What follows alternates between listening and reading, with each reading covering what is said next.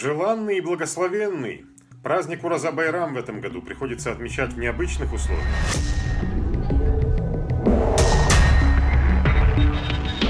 Реальные масштабы эпидемии. Муфти республики на совещании с главой государства озвучил положение дел в Дагестане. Президент пообещал помощь, и уже на этой неделе она появилась.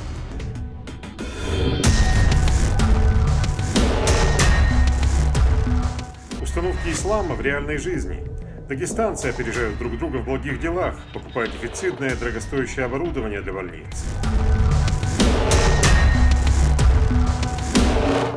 Здравствуйте. Это итоги недели на канале ННТ. И я, Мурад Ахмедов. Количество подтвержденных случаев смерти от коронавируса в нашем регионе к концу недели достигло 70. Практически каждые сутки специалистами выявляется более 100 случаев заражения COVID-19. Всего в республике зарегистрировано уже 3982 заболевших. По общему количеству инфицированных Дагестан находится на пятом месте среди всех регионов России. В пятницу стало известно, что только за одни сутки в Дагестане от коронавируса умерли 24 человека. Это рекордный показатель официальной статистики за все это время. Обстановка в республике на неделе привлекла внимание федерального центра. Президент России Владимир Путин провел совещание с представителями республиканских властей и муфтием Дагестана – и заявил, что ситуация в регионе вызывает серьезные опасения и требует неотложных мер. О самых главных моментах встречи расскажет Хадижа Курбанова. Сдержать распространение коронавируса в Дагестане всеми силами и помочь республике всей страной. Вот основные тезисы выступления главы государства, у которого происходящее в регионе вызывает серьезные опасения – Поэтому вопросам всесторонней поддержки Дагестана и неотложным мерам в этой связи было посвящено отдельное совещание. Первое подобное в таком формате и в практике президента страны за время борьбы с эпидемией. Путин отметил, что в ближайшее время региону будет оказана всесторонняя поддержка. А перед этим исчерпывающе и правдиво о ситуации в Дагестане рассказал муфти республики Ахмад Хаджи Абдулаев. По статистике уже говорят, более 700 человек умерло, погибло около 50 медработников.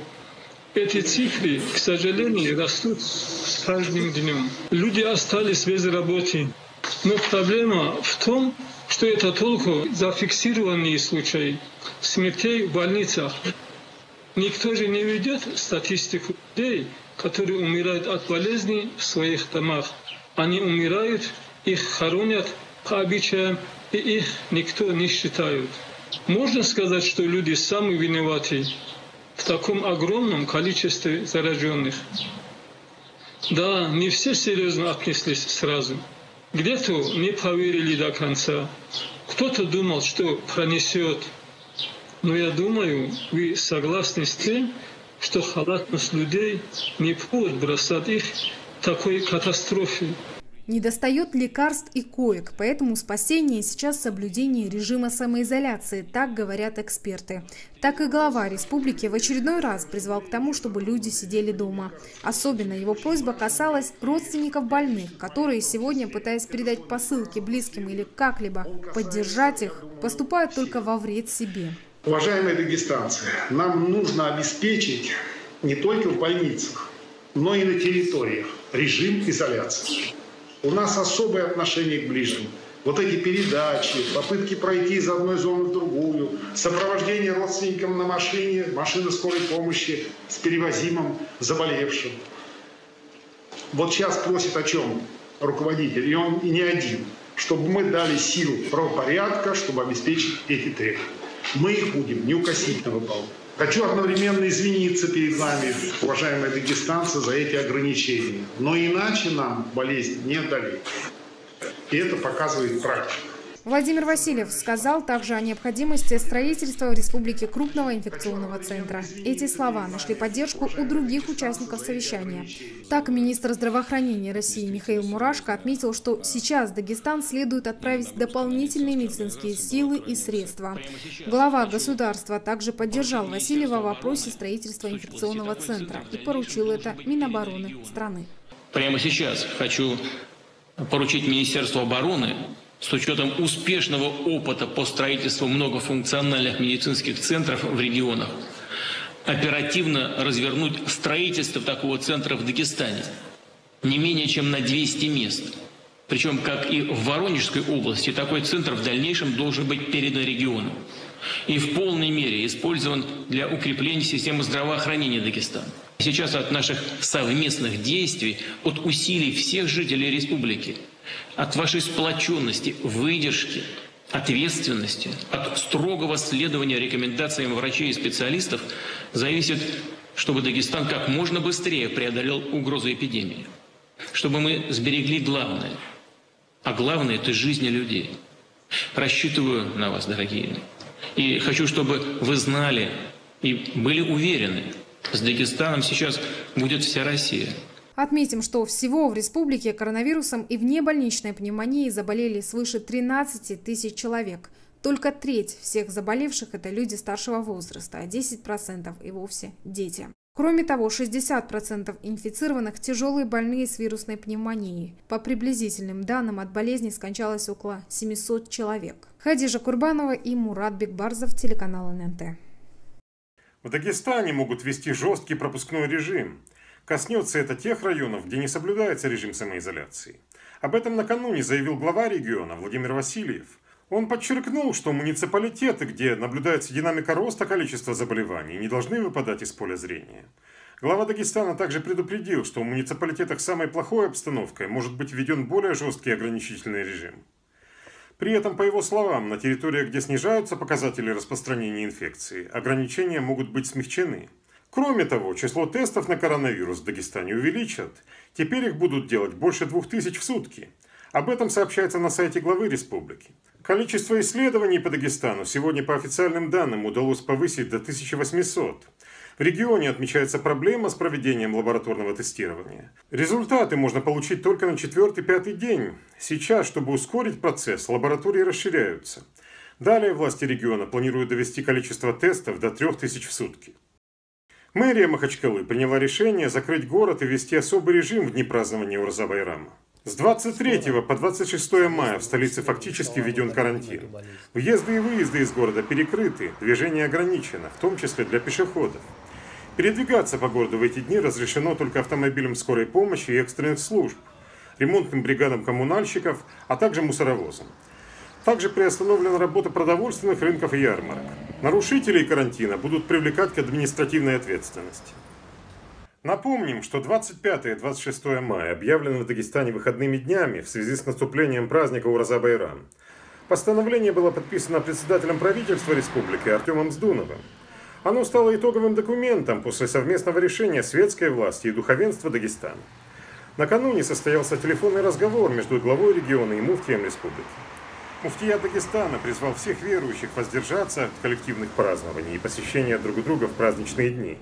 Во время пандемии коронавируса в исламском мире набирает популярность новый тренд – поздравления по видеосвязи.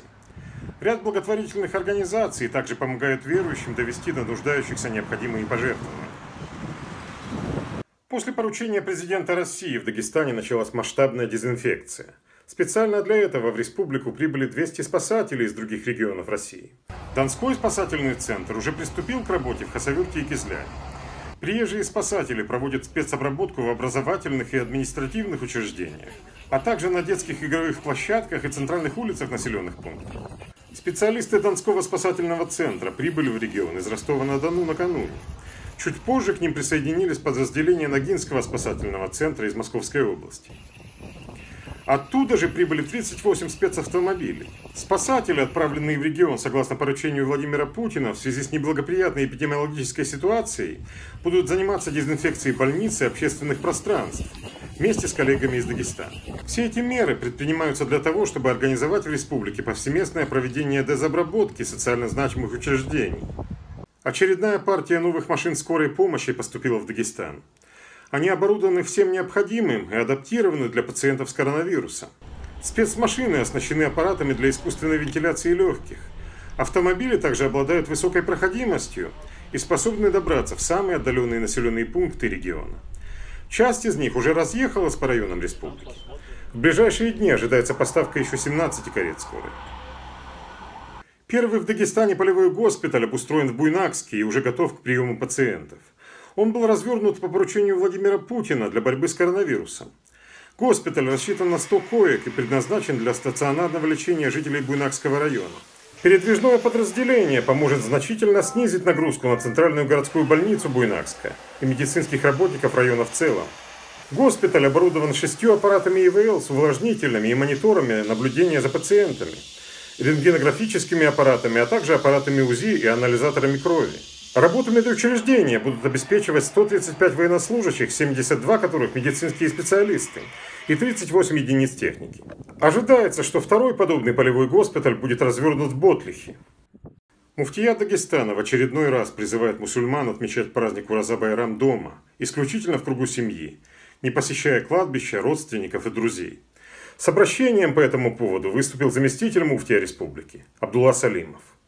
Уважаемые братья и сестры, мы надеемся на то, что каждый из нас проникся серьезностью этого момента и, проявив сознательность, останется дома, не станет отправлять детей на улицу собирать сладости, воздержится от посещения кладбища и ограничится поздравлением родственников по телефонной и видеосвязи, сохраняя свою жизнь, своих близких и окружающих людей. Помимо этого, в столице по инициативе духовенства республики и администрации Махачкалы размещены информационные баннеры, призывающие не нарушать режим самоизоляции. Мои коллеги опросили горожан, чтобы узнать, как они собираются провести праздничные дни. Детей никуда не отпускают. Все дома. Мы будем дома с семьей. Так что, как все добраться. До пандемии будем дома, что-то заболел. Планирую отмечать у себя дома. Так Аллах распорядился в этот раз что делать? Придется отмечать у себя дома. Потом мы наверстаем, иншаллах. Везде идет коронавирус, из-за этого лучше дома отмечать. Чтобы спокойно всем было. И своими родными, близкими, друзьям. Всем. Мы будем просто дома семейным кругом отмечать, накроем стол, без гостей, только мы семья. Ну да. Тоже устал так сказала, если можно дома посидеть, подождать, потом, чтобы э, пока уйдет вирус. И так дома вместе отметить. Дома сидеть, не выходить из дома. Сам буду отмечать дома и всем остальным тоже советую. Только дома. Настоятельно просят прислушаться к мнению духовных наставников и сами врачи. С начала эпидемии потеряны сотни жизней. Десятки врачей погибли, спасая других людей, поэтому игнорировать этот призыв, по меньшей мере, безответственно. Дорогие мои земляки, обращаюсь к вам как врач с 35-летним стажем. Дорогие мои родные, немножко у нас эпидемия идет на спад. Становится меньше больных, становится меньше тяжелых больных. Смертных случаев в последние дни почти нет. Но это все большая работа, которую сделали и вы, потому что были на изоляции дома, и мы, потому что делали все, что возможно для того, чтобы вылечить больных. Но если сегодня мы не послушаемся наших духовных наставников, мы не послушаемся врачей и будем э, праздновать наш Ураза Байрам, как всегда мы его праздновали. Если мы будем ходить к друг другу, если мы нарушим все эпидемиологические нормы, будет вторая волна. И эта волна будет намного тяжелее, чем первая. Потому что месяц мы сидели дома, держали уразу. Иммунитет у всех низкий, взрослые люди ослабленные, у всех стрессом э, иммунитет снизился. И все эти факторы приведут к тому, что заболеет большее количество людей, что заболевание будет протекать тяжелее, тяжелых больных будет много, и, следовательно, смертей тоже будет больше.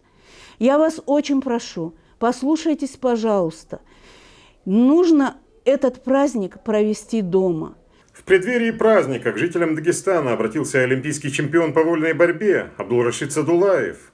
Прославленный спортсмен предостерег земляков от масштабных празднований в связи с распространением пандемии коронавируса. По словам чемпиона, он сам уже успел перенести болезнь. Вирус коснулся также многих его родных и близких, а некоторых из них уже нет в живых. Обычно на праздники я езжу в горы навестить дедушку, всех родственников. Посещаю кладбище. В этом году я вынужден прервать эту традицию. Буду отмечать дома, кругу семьи. И я хочу вас всех тоже призвать к этому, чтобы вы тоже отмечали дома. Нам лучше не отправлять наших детей по домам, собирать подарки. Они, они это не почувствуют. но могут домой принести эту заразу. Поэтому нам надо беречь не только себя, но и тех людей, которые вокруг нас, особенно наших старших. И люди с хроническими заболеваниями переносят это очень тяжело. Прошу вас придерживаться тех правил, которые нам рекомендуют наши врачи. А вот как запланировала провести праздник одна из дагестанских семей, в гостях у которой побывал накануне наш корреспондент Хамза Нурмагомедов, узнаем далее. Все предыдущие годы семья Абакаровых отмечала праздник в селе. Навещали в первую очередь дедушку, а затем и всю родню. На этот раз коронавирус продиктовал свои условия. Я и моя семья, и мои дети будут сидеть дома. Мы совершим праздничный намаз дома. После этого, я надеюсь, хозяйка и дети чем-нибудь порадуют, какими-нибудь вкусняшками – мы будем созваниваться со своими близкими и родственниками посредством видеосвязи, посредством просто звонка. Посидим, поговорим, пообщаемся, потерпим столько, сколько надо для того, чтобы после этого с живыми и здоровыми сесть, посидеть, чай попить, поговорить и пообщаться. Праздничный стол обещает порадовать кулинарными вкусностями. Однако такого разнообразия блюд, как в прошлом году, не будет. Ситуация с пандемией отразилась и на финансовой стороне семьи. Так как мы, Макамир Расул сказал, каждый год отмечали у дедушки, и гостей было много, мы вообще, в общем, рассчитывали на приходящих людей и старались готовить максимально э, такие блюда, которые было бы удобно быстро согреть, быстро подать. Ну, разнообразие было большое. В этом году, так как мы сами, мы дома, у нас э, много блюд не планируется в меню. Как бы покушать мы любим, но не такие большие едоки, чтобы это все сразу за один день съесть. На самоизоляции не просто не только взрослым, но и детям. В свое время они занимают чтением, играми, просмотром телевизора и, конечно же, помогают маме. Пандемия особенно омрачила детишкам долгожданный праздник. Они не смогут ходить по домам, получать подарки и сладости, как делали это в предыдущие годы. Во-первых, нас не пустит папа, а во-вторых, э, как бы уже самого настроения нет, чтобы собирать. И, наверное, многие даже дверь не откроют. Ну, не будем собирать. Ну, как бы мы жить еще хотим. Слишком молодые. Дверь дома в праздничный день, к сожалению, будет закрыта для гостей. На ней будет записка «Всех любим, поздравляем, но просьба не стучать и отнестись с пониманием». Ответственность за жизнь своей семьи и детей перед Всевышним важнее превыше осуждения родственников и друзей. Хамза Нурмагомедов, Магомед Магомедов, Дауд Гасанов, телеканал ННТ, Махачкала. Вот уже неделя, как Народная больница, а именно так называют третью городскую клиническую больницу в Махачкале, работает с больными вирусной пневмонией. Начать их лечение удалось после организации сбора средств среди неравнодушных людей. Три этажа медучреждения уже функционируют в полную силу. Подробнее о том, как проходят будни в больнице, расскажут мои коллеги. Пациент из Левашинского района рассказывает, как ему стало плохо, тошнило. Он не мог ходить, делится, как по счастливой случайности оказался в этой больнице скорую вызвали, первый день скорая была. Нас отвезли одну больницу, не приняли. Потом в другой больнице пришли, там тоже не приняли. Хорошо, что зять приехал с нами, зять обратно забрал. Уже на следующий день сюда Иры попал. Честно, все, все отлично. Теперь Магомеду лучше, он доволен лечением и условиями, которые созданы в больнице. А ведь неделю назад и в эту клинику его могли не принять из-за отсутствия госфинансирования, необходимого оборудования и аппаратов. Благо, что нашлись добрые люди, которые смогли организовать запуск больницы под COVID-19. На сегодняшний день мы э, уже для больницы приобрели с вашей всей помощью, конечно же, э, мои друзья, 20 аппаратов кислородных концентраторов, 20 консолей. Э, уже заказаны и едут у нас 4 аппарата ИВЛ. Ну и каждый день мы приобретаем медицинские препараты, каждый день привозим сюда на более чем 4, более чем 4 миллиона уже собрано денег тоже. Из этих денег каждый раз мы э, приобретаем препараты, противочумные костюмы, э, маски защитные, очки, ну и все, что необходимо для нашей городской клинической третьей больницы. На сегодняшний день больница приняла уже более 80 пациентов. Задействованы три этажа здания. Врачи проводят своевременное лечение. В ближайшее время должны поступить ответы анализов на наличие или отсутствие у пострадавших коронавируса.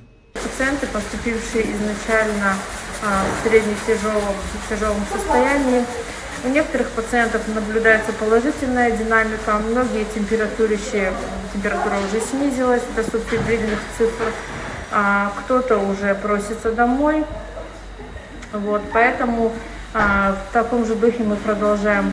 Врачам помогают отважные волонтеры из колледжа имени Башларова. Оставив свои семьи, студенты пришли сюда. Они разносят еду, заполняют анкеты, дежурят ночами и ставят капельницы. Сейчас мы собираемся проводить внутривенную инъекцию. Помимо этого, волонтеры помогают пациентам переворачиваться на живот, делать дыхательную гимнастику. Все это, конечно, под контролем опытных специалистов. Какое-то облегчение дает, какое-то вот прям хорошо тебе. Вибромассаж, дыхательная гимнастика, правильная позиция. А, Ну, есть эффект. Конечно, это больные тяжелый, мы не ожидаем вот, 7 минутных каких-то вот, успехов. Ждем а, там, недельного, может быть, 10-дневного срока, чтобы вот сказать, что вот а, перешли ли вот там, а не тот пик, который был Больница продолжает работать в усиленном режиме. Необходимы еще волонтеры и врачи, заканчиваются медикаменты. Инициативная группа продолжает сбор средств. И главная ее цель – приобрести для больницы аппарат компьютерной томографии, который позволит здесь же в народной больнице проводить полное обследование для оперативного и эффективного лечения пациентов. Хамза Нурмагомедов, Ибрагим Урсанов, Дауд Гасанов, телеканал ННТ, Махачкала. Кризисная ситуация, вызванная коронавирусом, охватила всю республику. Эпидемия ударила по всем сферам, прежде всего по здравоохранению. Муфтия Дагестана весь месяц продолжал оказывать безвозмездную помощь медучреждениям и нуждающимся в республике. На неделе представители духовенства посетили Цунтинский район и Бежтинский участок. Центральной больнице в селе Кедеро они передали кислородный концентратор и медикаменты на общую сумму 370 тысяч рублей. А Бештинской клинике также привезли лекарства и медицинские маски. Необходимо было как раз, мы нуждались, очень остро нуждались в кислородном концентраторе. Хотим выразить огромную баркала лично муфтию Ахмад Хаджи Афанди за то, что не забывает нас. То, что муфтият оказывает такую поддержку для населения Дагестана, то, что они с народом, это большое, великое дело. Помимо помощи людям, которые находятся в красной зоне, религиозные деятели погасили долги местных жителей в аптеках селения Бешта. Не остался без поддержки и Ахтынский район. Центральной больнице религиозные деятели передали лекарственные препараты и средства индивидуальной защиты на общую сумму 300 тысяч рублей. Также врачи получили от благотворительного фонда «Инсан» продуктовый набор. Вы один из первых первенцев, которые Ахтынскому ЦРБ э, решили помочь. Я вам благодарен очень. Такой священный для наших мусульман, такой тяжелый месяц для нас лично в плане того, что врачи такого тяжелого заболевания. Хочется пожелать всем здоровья, Пусть Аллах примет ваши благие деяния. Пусть воздастся вам всем в обоих мирах. И пусть наш джамат будет здоров. Посетили религиозные деятели центральную больницу Тлератинского района. Они передали врачам кислородный концентратор и медикаменты, необходимые для лечения больных вирусной пневмонией, на общую сумму более 250 тысяч рублей. Искренне благодарим вас от всего коллектива больницы и жителей нашего района за предоставленные вами лекарства. И за кислородный концентратор также выражаем большую благодарность. Вы протянули руку помощи нашим больным в самое необходимое время. Благотворительная деятельность муфтията коснулась практически всех муниципалитетов республики. Помощь была оказана больницам и малоимущим жителям города Дагестанские огни, Тарумовского и Навалакского районов. Религиозные деятели передали медучреждениям медикаменты, средства индивидуальной защиты и продуктовые наборы, а Навалакская больница получила еще и кислородный концентратор. Вы спасете этим жизнь многим людям, я вам скажу. Спасибо большое. Да, Аллах вам здоровья.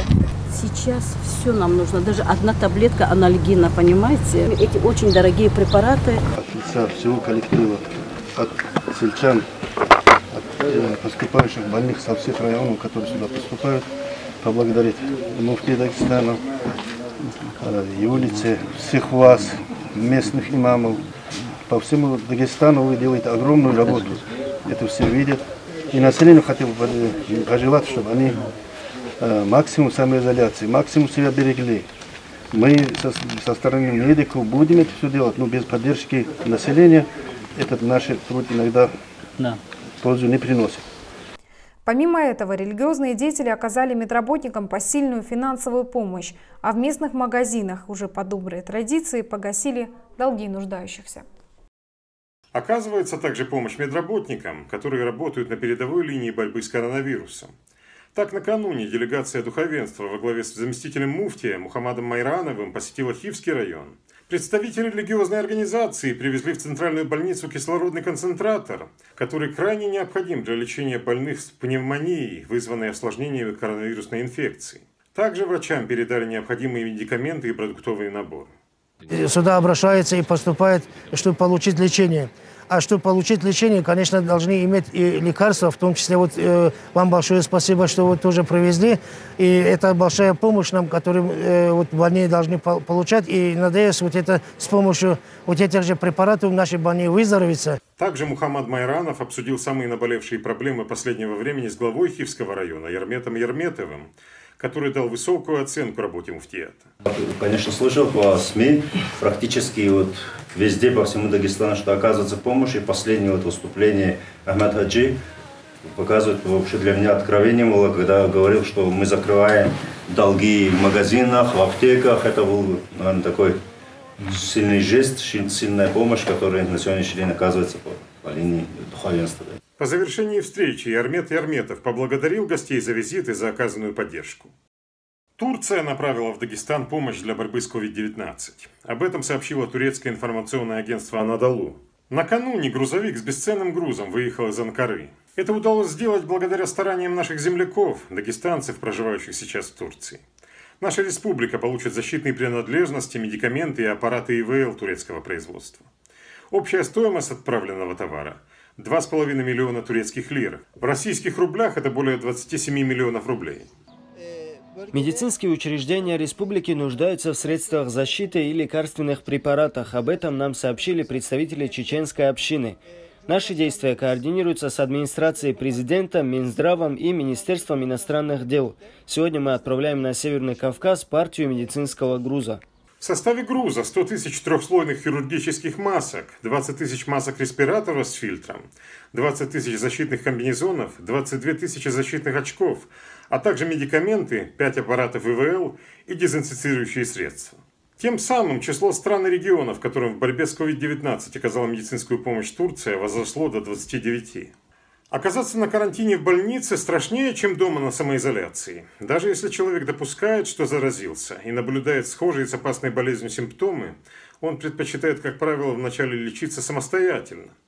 Люди хотят избежать любой ценой встречи с больничными коридорами и врачами. Наш корреспондент Алина Багилова пообщалась с врачом и узнала подробности госпитальной жизни. Героическая борьба врачей с коронавирусом набирает обороты, охватывая все новые уголки, становясь обыденным фактом повседневности. Медицинские учреждения, скорая помощь работают на пределе возможностей. Целые больницы перепрофилируются за неимение мест. Аппаратов ИВЛ не хватает, средств защиты тоже, из-за чего COVID-19 заразились сотни людей.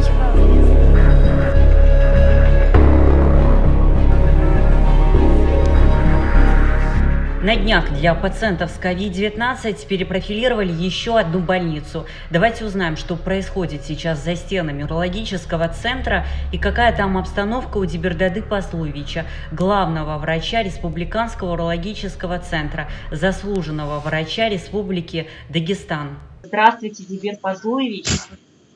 Добрый день, Алина.